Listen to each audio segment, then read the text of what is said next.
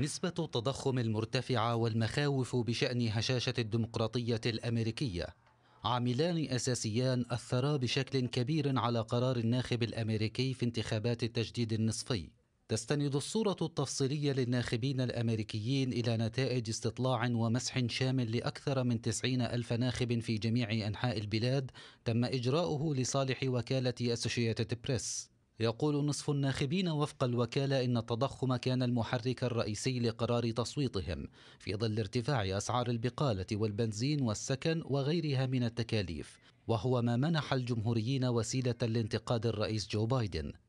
كان التضخم بمثابة نكسة لرفاهية العديد من الأمريكيين.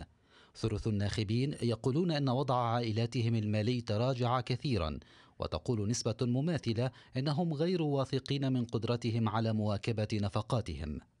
على الجانب الآخر ترى نسبة أقل من الناخبين بلغت نحو 44% أن مستقبل الديمقراطية الأمريكية كان الاعتبار الأساسي لهم. منذ انتخابات 2018 النصفية السابقة بات الناخبون وفق الاستطلاع محبطين بشكل متزايد مع اشتداد الانقسام السياسي في البلاد.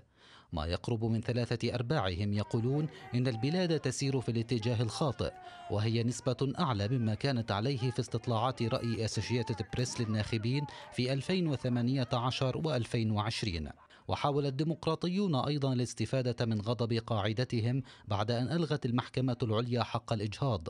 بشكل عام قال سبعة من كل عشرة ناخبين إن هذا الحق كان عاملا مهما في قرارهم الانتخابي. وعلى الرغم من المخاوف بشأن الديمقراطية قال نحو أربعة من كل عشرة ناخبين إنهم واثقون جدا من أن الأصوات في انتخابات التجديد النصفي سيتم احتسابها بدقة. وهو تحسن عن النسبة المئوية السابقة للناخبين في عام 2020